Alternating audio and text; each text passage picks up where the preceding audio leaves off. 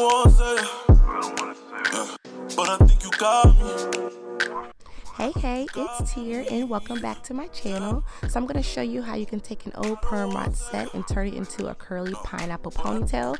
So let's grab a pick and get started.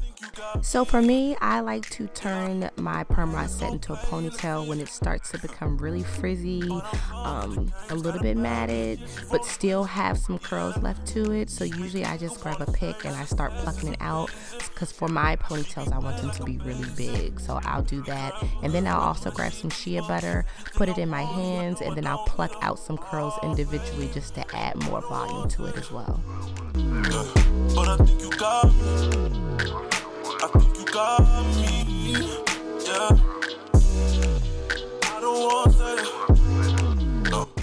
Then I'm gonna grab my bottle misting spray, which I absolutely love. I grabbed this from one of the local beauty supply stores, and I like it as opposed to a regular water bottle. Usually, with the regular water bottles, it just penetrates one area, but this mister it usually gets pretty much every area when you start spraying it, which I love to use for my edges.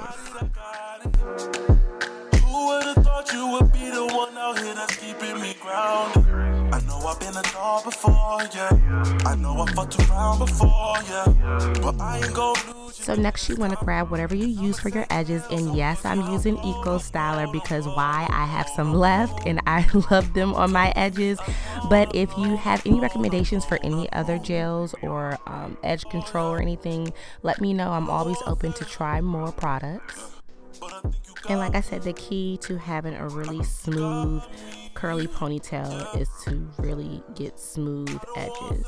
And how far you go back for your ponytail, it all depends. It's a personal preference. I usually like mine sitting up at the top, so I try not to brush um, a lot of curls out.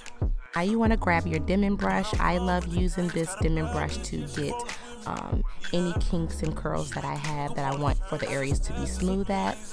It usually works very, very well. This is basically the only detangling brush that I use, besides a wide tooth comb.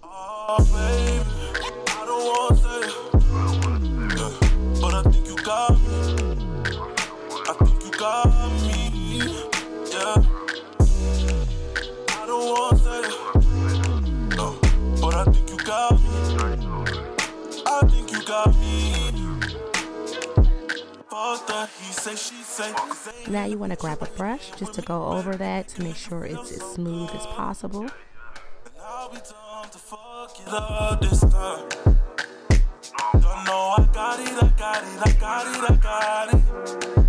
Who would have thought you would be the one out here that's keeping me grounded? Then you want to grab two ponytail holders. Um, you can use one. I personally use two because my hair is extremely thick, and usually two it just secures it better. Um, I usually use the ponytail holders that are wide enough to use as headbands, but I make sure that they're really tight. Some of them you can double, um, but for these, I just stretch them out a bit so I can use it as a ponytail holder.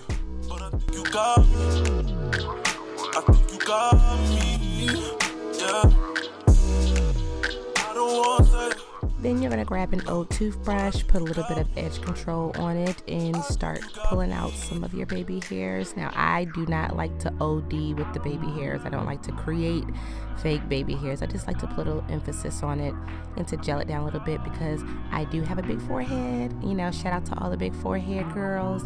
And I like to add a little bit of baby hairs to my forehead, you know, just to, just to put a little illusion on it or whatever.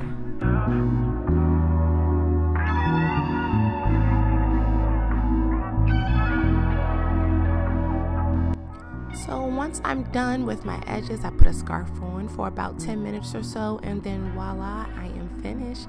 Thank you so much for tuning in, guys. Don't forget to like, comment, and subscribe. And I look forward to hearing any suggestions you would like to see in the future for Curl Struck. All right, bye, guys.